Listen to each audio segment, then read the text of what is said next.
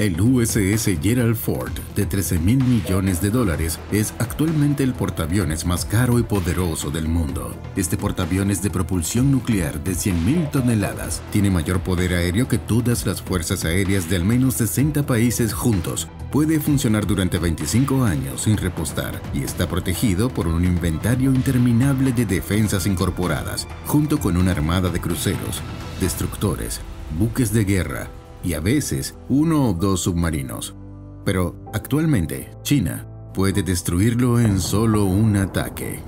Esto es gracias al alcance y poder de los misiles hipersónicos chinos, y comprensiblemente es un problema para la Marina de los Estados Unidos, que no se puede dar el lujo de ignorar, especialmente porque China no oculta el hecho de que sus armas hipersónicas están diseñadas específicamente para repeler barcos estadounidenses. Uno de los campos de prueba de armas de China se encuentra escondido en el desierto de Taklamakan y tiene maquetas de tamaño real de portaaviones estadounidenses que utiliza para prácticas de tiro para defender su flota contra posibles ataques de estos misiles hipersónicos chinos, la Marina de los Estados Unidos ha recurrido a láseres de alta potencia armados con cientos de millones de dólares de fondos de inversión para garantizar que estas armas láser arrollen a cualquier misil hipersónico chino que se cruce en su camino a medida que las tensiones continúan aumentando entre los dos países.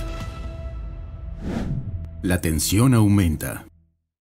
China se está posicionando como el rival más relevante de los Estados Unidos. Tanto su economía como sus fuerzas armadas están creciendo a tasas exponenciales, por lo que una guerra entre ambas naciones podría afectar gravemente a escala mundial. No es ningún secreto que una guerra entre Estados Unidos y China no está muy lejos de la realidad.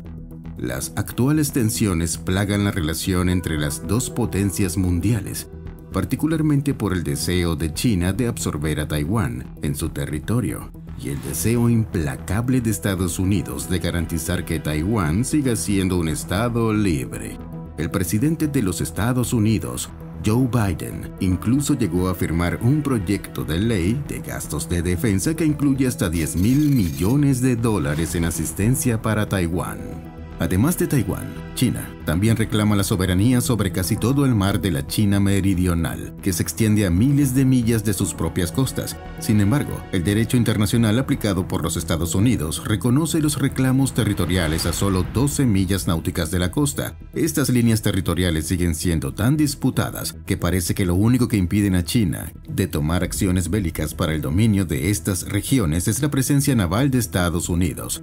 El presidente Biden también se ha vuelto cada vez más directo al decir que Estados Unidos intervendrá en caso de que China monte un ataque no provocado contra aliados estadounidenses. Pero quizás la mayor revuelta estadounidense contra las afirmaciones de China es la reciente visita de la expresidenta de la Cámara de Representantes, Nancy Pelosi, a Taiwán a pesar del disgusto claramente expresado por China, y se expresó claramente.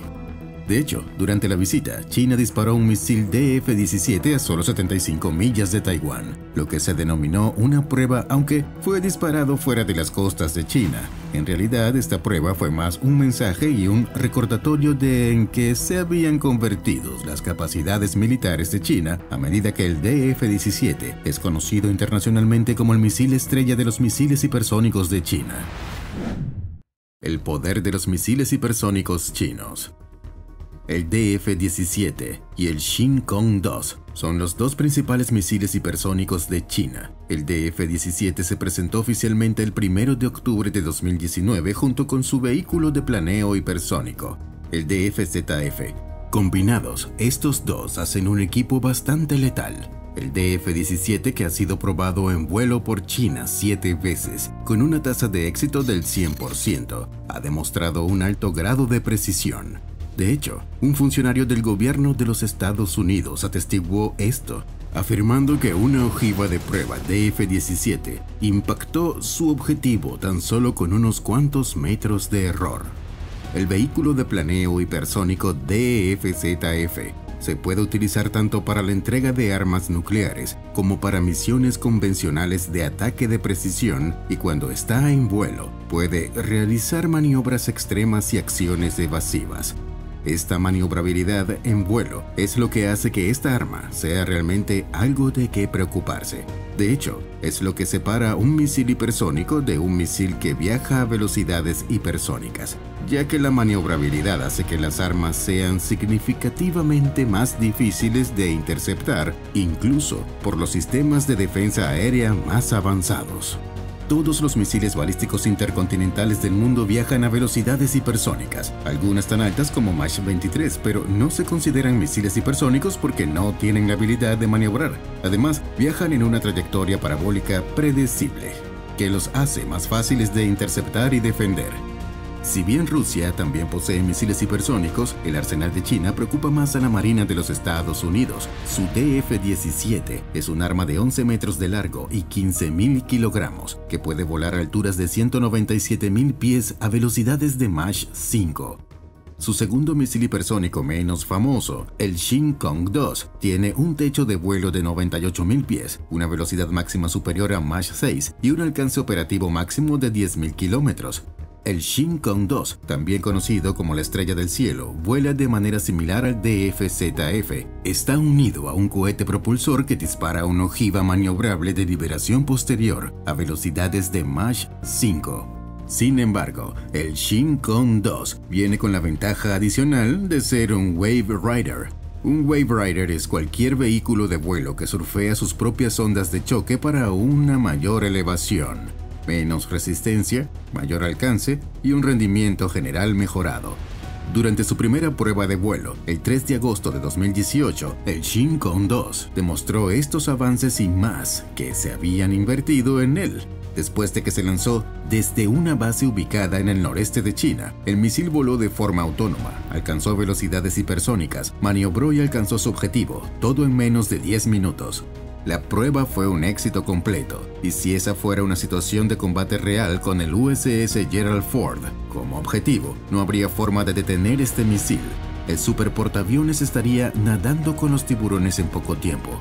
Por esta razón, el USS Gerald Ford debe actualizarse a sofisticados sistemas de defensa láser y convertirse en lo que llamaremos el USS Gerald Ford Láser un portaaviones mejorado. No importa cuán rápidos sean los misiles actualmente o cuán rápidos sean en el futuro, la Marina de los Estados Unidos espera que sus armas láser los quemen en el cielo al instante y esto no es exageración. Los láseres son una forma de luz y por lo tanto viajan a una velocidad de 300.000 kilómetros por segundo, lo más rápido que cualquier cosa puede moverse en el universo. Entonces, en comparación con los láseres, los misiles hipersónicos se mueven más lentamente que una tortuga en tierra y, por lo tanto, pueden alcanzarlos con facilidad. Además de esto, los láseres vienen con el beneficio de un cargador ilimitado siempre que haya una fuente de energía conectada y con un Ford impulsado por los motores más potentes jamás instalados en un barco. Esto será una tarea sencilla. Dos reactores A1B que pueden mantener el Ford funcionando durante 25 años sin repostar. Las armas láser tendrán acceso a más energía de la que podrían necesitar. Para colmo, los láseres vienen con un costo por disparo inimaginablemente bajo en comparación con los misiles de defensa aérea, que son la mejor opción. Cada disparo láser cuesta de 1 a 10 dólares para eliminar objetivos, una pequeña fracción del millón a 10 millones de dólares que cuestan los misiles de defensa aérea. Este costo económico es una gran ventaja para la Marina de los Estados Unidos, especialmente cuando se enfrenta a un adversario económicamente cercano como China. Con los beneficios confirmados comenzó el desarrollo de un arma láser conocida como láser de alta energía con deslumbrador óptico integrado y sistema de vigilancia o Helios para abreviar. Helios es un arma láser de 105 millones de dólares y 60 kilovatios desarrollada por Lockheed Martin. Fue la primera arma láser permanente en un destructor y puede integrarse con el radar Aegis y el sistema de control de armas de la nave. A pesar de ser escalable a una clasificación de 150 kilovatios, Helios sería insuficiente para derribar misiles hipersónicos, incluso sería insuficiente para derribar misiles supersónicos.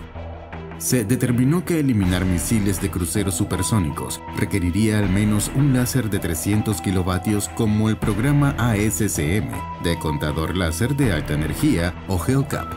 Con el HELCAP, el Pentágono ahora apunta a desarrollar un arma más de tres veces más poderosa. Un arma láser de un megavatio que finalmente debería hacer el trabajo de contrarrestar los misiles hipersónicos que están diseñados para soportar temperaturas de más de mil grados inherentes al vuelo hipersónico. Y un arma láser de un megavatio tampoco está muy lejos. La Marina ya otorgó un contrato a Northrop Grumman para desarrollar tal arma y en julio de 2022 la compañía completó un diseño preliminar de un láser de alta energía que combina varios rayos láser en un potente rayo de un megavatio. Esta arma podría ser la diferencia entre el USS Ford y otros portaaviones estadounidenses, convirtiéndose en desechos masivos y vulnerables de miles de millones de dólares, o seguir siendo los indomables megaparcos más poderosos de la Marina de los Estados Unidos. Ese es el impacto que podría tener un arma láser en esta batalla silenciosa en curso entre los Estados Unidos y China le da a la Marina de los Estados Unidos el poder de destruir los misiles más rápidos y avanzados de China en un abrir y cerrar de ojos y a costo de una taza de café. Y según los expertos, cada disparo sería aún más barato. Recuerda suscribirte a este canal y darle un me gusta a este video. Nos vemos a la próxima.